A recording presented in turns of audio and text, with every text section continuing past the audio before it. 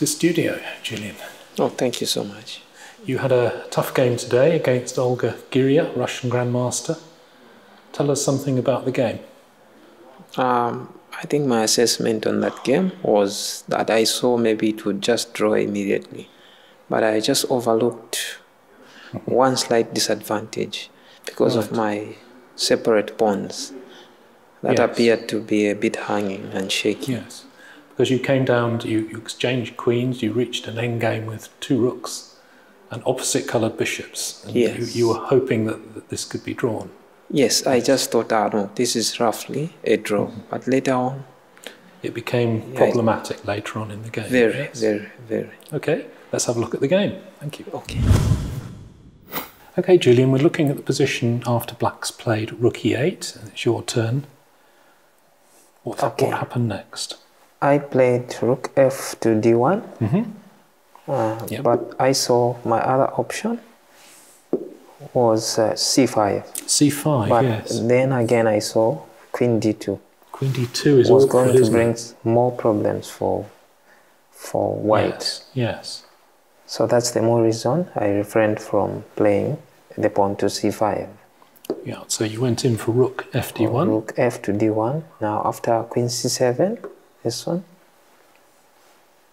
I saw that roughly my position is not bad, although I can give a slide for black mm -hmm.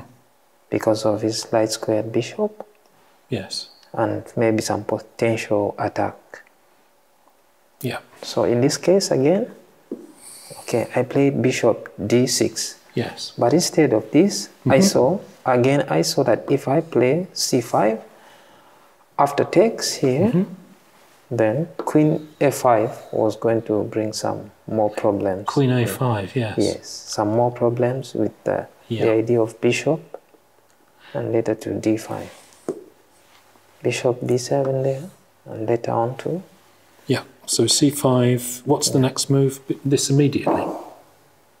No, no. Just take. Sorry. Okay. Just take, yeah. Oops. Just take care. Um, I'm highlighting the, the problems that yeah. Oh, I see what you mean. That yeah. can be considered yeah. whilst I yeah. I'm still cramped here. Then the other thing that I saw here maybe was to try to play queen to e3. Queen to e3 attacking the, the, the, the c5 pawn. Yes. But again, I just noticed that it doesn't pose any dangers for for black because we just defend the pawn and still continue to threaten queen a5. After queen a5, white would then have to go back and you, your bishop would get passive. Is that the, the thought here? If the bishop returns, yeah, I think uh, white loses the battle. Yeah, yeah. And now the advantage now will be clearly. Yeah, because the light squared bishop is yeah, it's too dominant. It's, it's dominant, too, it's whereas this bishop here, obviously. This one so you would sort of come to this square and this square, and then yes. Uh, sorry, your opponent would come here and here, and yes, have quite good play. Dominate on, the on light the light squares. squares. Yeah, I understand. That's the more reason I I never did play c5. So you avoided that. Yeah. Okay. So rook ft1, and your opponent C7. played queen c7. That's the more reason I played bishop bishop d6. d6. Yeah, yeah, giving up. The, Just trying to go into an opposite colored. Yeah.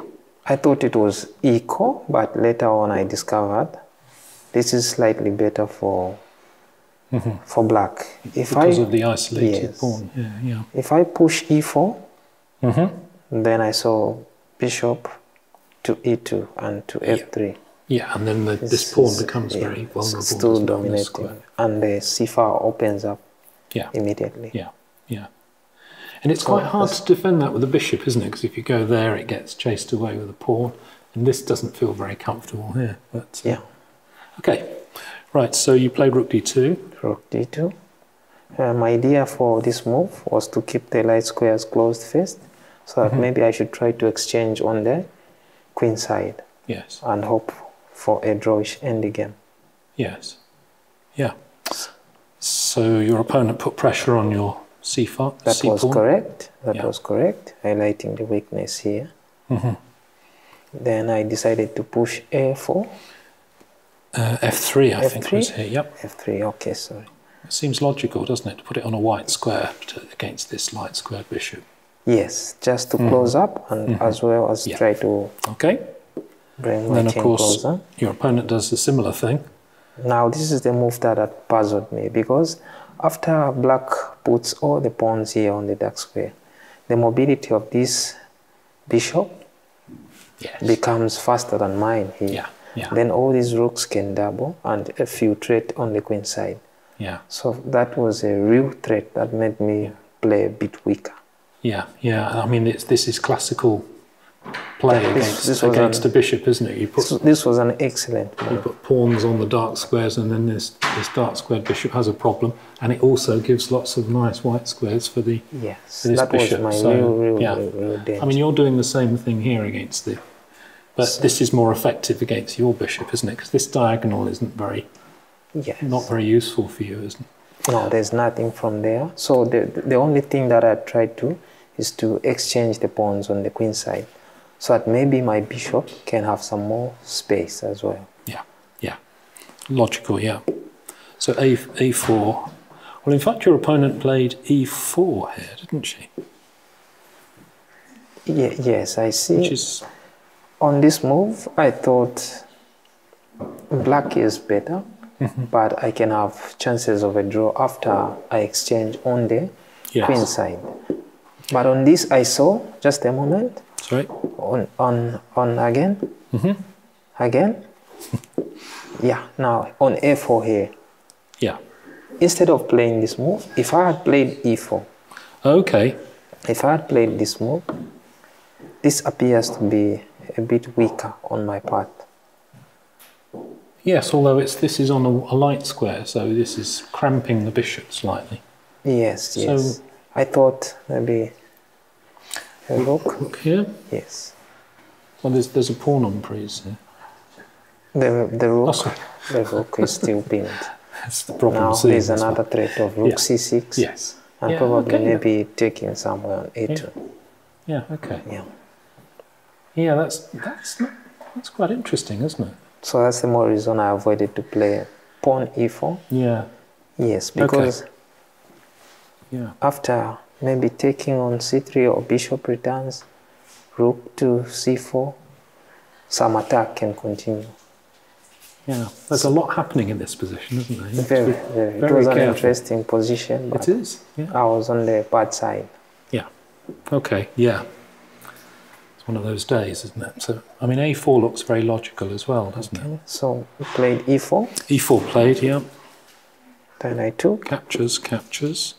F5. And you wanted to try and exchange a pair of pawns. Yeah, I, I thought ki- king f2. King king F2 F2. instead of this, yeah. Yes, king f2. It's It's it still awkward. doesn't look good for me. It looks. And when I play rook e1, uh, I'm getting away from the plan of exchanging on the queen side. This, this pawn is very vulnerable now? Very vulnerable. And the ideas of rook e6 to f6 was the more reason I decided just to give away that pawn. Yeah. Yeah, it makes a lot of sense, doesn't it? Yeah. Okay, so A5. Yeah. H6 gets played. She's being very careful on, On, on this move, I didn't understand the logic behind. On this one, I wasn't clear what black was planning here. Maybe it's just a sort of waiting move to see what you do next. Maybe just to swap the back rank problem Yeah. Yeah, or something, but I uh, guess so. Yeah, I mean, eventually, eventually, black has to play something like that, just in case of back rank, I suppose. on here I'd imagined maybe something like b5 would be played later. B5, yeah. Yeah, that's what I thought. But just to keep my, my hanging pawns on the on the queen side, Yeah. because if I bring my bishop this side, it's Yeah. closed up. It's as good as a pawn here. Yeah, yeah. Anyway, exchange happened. And you played rook b1. And she doesn't. She really doesn't want to play this onto a light square. I wanted the pawn to be on b5. yes, but she doesn't want to do that. My chances of getting a draw would be very high because now my bishop can Yeah, can have c5 square and can help in some defense. Yeah, she's playing very carefully here with this. Okay. Oops. Look. Oh, we? Yeah. Okay. Yours works better than mine. Okay. So Yeah, she's being very, very canny here. But at least you have that square for your bishop now. on although- here, I thought maybe king f2, king f2 Instead of this move. instead of bishop b4. If I do this, Yeah. I think just take, Yeah. take. Yes. Bishops come off, and then it, it's a very difficult endgame, isn't it?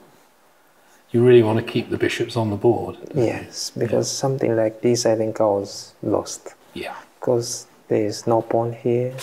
Yeah. Black has got an extra pawn. His king can come to the queen side and Mm-hmm. Do some.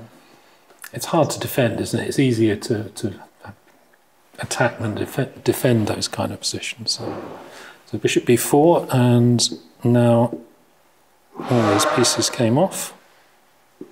You played rook e1, yeah, so you've given up your pawn, but you've still got chances here, haven't you?